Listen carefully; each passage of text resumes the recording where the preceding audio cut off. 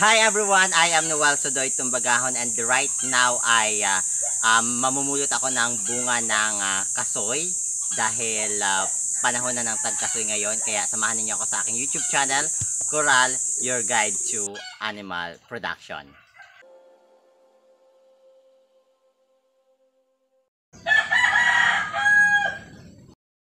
So dahil Saturday nga ngayon mga kakoral at uh, walang pasok ang mga empleyado ng gobyerno sa Pilipinas or else ang ilan sa mga kapwa ko kawani ng gobyerno ay uh, pumasok pa ngayon sa kanilang kanya-kanyang offices para tapusin ang kanilang mga ginagawa dahil sa sobrang dami ng deadlines at upang hindi sila matambakan ng trabaho. Ako naman mga kakoral ay uh, wala talaga akong ginagawa today at hindi naman pwedeng mahiga lang ako maghapon, matulog lang ako maghapon o wala akong ginagawa maghapon. Kaya I think of something na maging productive ako today at the same time ay makatulong din ako sa pag-unlad ng um, ekonomiya ng ating bansa kahit sa simpleng uh, gawain lang. Kaya kung makikita ninyo mga kakoral, ako ay nanunungkit ng bunga ng kasoy. By the way mga kakoral ay ngayon panahon na talaga ng tagkasoy at dito sa amin sa aming uh, bayan lalong lalo na dito sa aming uh, barangay ay maraming puno ng kasoy. Hindi sa amin sa aking mga kapit bahay. Kaya ayan mga kakoral ang mga pinanungkit ko palang uh, bunga ng kasoy ay uh, gagamitin ko yan later or ipaprocess ko yan later as uh, animal feed for my farm animals specifically sa aking mga alagang uh, manok at alagang baboy. Dahil yun ang mga farm animals na kalamitan kong inaalagaan.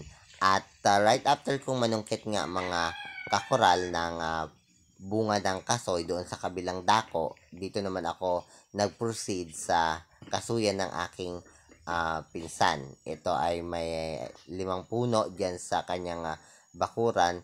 Yun nga lang mga kakoral ay medyo malaka. Ayun, nagbisaya na. Ang, or kokonti ang bunga ng kasoy dahil ang babago-bago ang panahon ngayon, tag-ulan at naapektuhan talaga ang uh, pamumulaklak at pagbibir ng fruit ng puno ng uh, kasoy kaya medyo konti lang ang aking na kolekta today. Pero last time mga kakoral, maliban kasi dito sa pamumulot ko ngayon ay namulot na talaga ako before. Para ginawa ko lang tong video na ito para makita ninyo kung ano yung uh, ganap ko today sa aking live. Ayan.